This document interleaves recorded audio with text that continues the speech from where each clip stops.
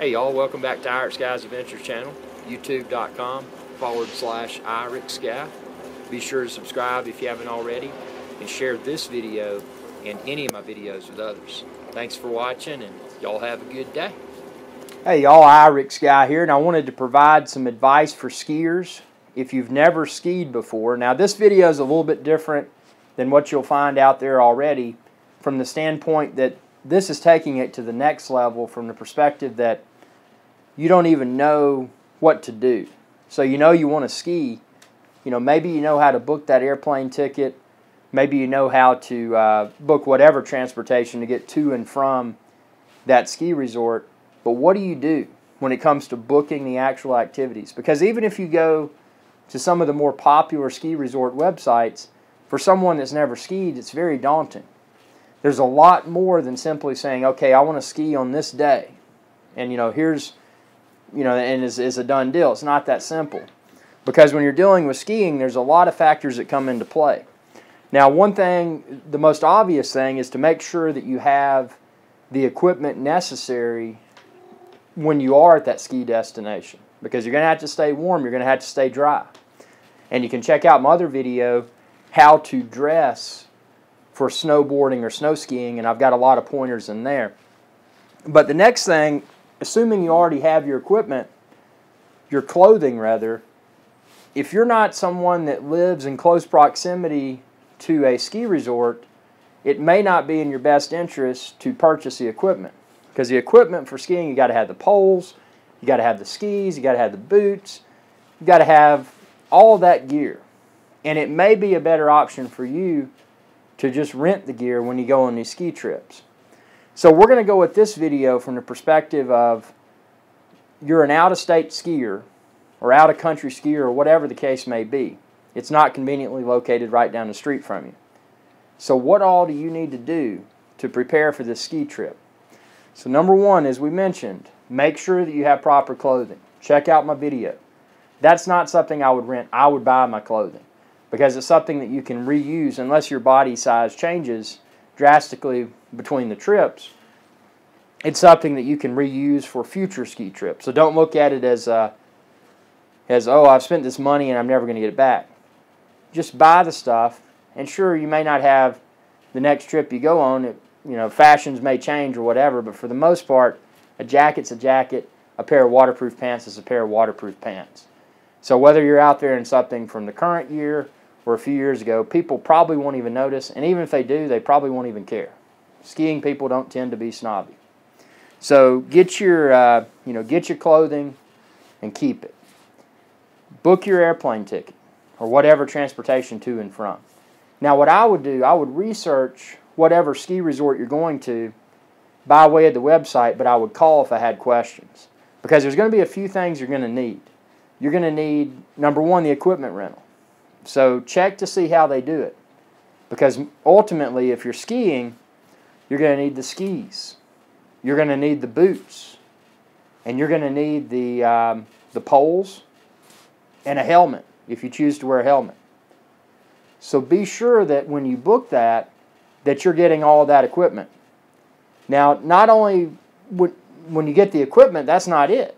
There's more. You got to have a lift ticket. Now, the lift ticket is what enables you to get up and down that mountain. So when you're going to the top to ski down, you've got to have a ticket. And most most ski resorts, what they'll do, they'll give you a little card, and you put it in a pocket. And then when you walk through the uh, the the line to get on the chairlift or the gondola or whatever, it'll recognize you have that card and it'll let you on. So you got to have your lift ticket. Now the other thing, if you've never skied before, and if you're watching this video, you've probably never skied before, you skied so long ago that you forgot all about it. You're probably going to want to get lessons. Now, what I would recommend personally, I would recommend an all day lesson. Because if you go out there and you ski all day, you're going to get the basic set of knowledge necessary to enable you to further advance at your own pace. So I would definitely get one full day of ski lessons. And then after that, you know, you're going to want to ski for a few days after that. And if you don't want to get more than one day of lessons, one day may be enough for many. For most people, it may be enough.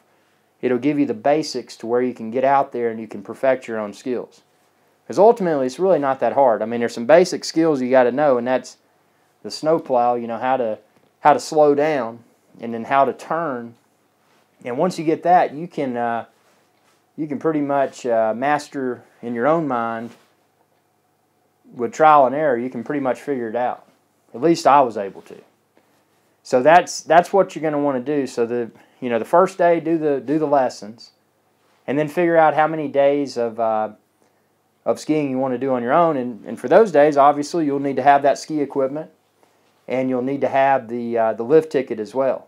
So be sure you've got all that booked because there's nothing more, there are a few things more frustrating than going to a ski resort for the first time and realizing that you know you didn't book the equipment or you didn't book the lift ticket and then having to go in and get all that extra stuff to make your uh, to make your day on the ski slopes possible.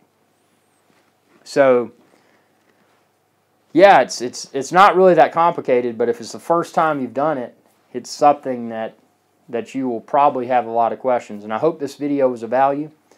Uh, drop me a line if you have any questions. I'll try my best to answer. I'm not an expert skier by any means, but I do have the knowledge necessary to to go to a ski resort and know what to book. And brings up another point: you need to have some ski goggles. Now, you can find some within the link within this video's description, but my personal recommendation would be to go to that ski resort and to try on whatever types of goggles they may have because it's gonna you're gonna want something that's comfortable and something it, they're they're functional because they block the glare off of the snow. Obviously, you can't wear sunglasses while you're skiing, or you could, it just wouldn't be optimal. So you want to wear some ski goggles that are comfortable that shouldn't fog up and ultimately are, are affordably priced. So, you know, it's one of those things like anything else. You can get in at a at a at an entry level price or you can spend a bunch of money on them. I would get those at the ski resort. I would wait to get to the ski resort to get the goggles. Other than that, you know, be sure uh, be sure to check out my video about how to dress for snowboarding or snow skiing. And most importantly, have a good time. You know, don't be intimidated. There's a lot of stuff involved with it if you've never done it before. But once you do it for the first time, then you will know and you'll be hooked. So thanks for watching. Be sure to subscribe. YouTube.com forward slash IrixGuy. And be sure to check out all my snow skiing and snowboarding videos and share this video and any of my videos with others. Thanks for watching and y'all have a good day.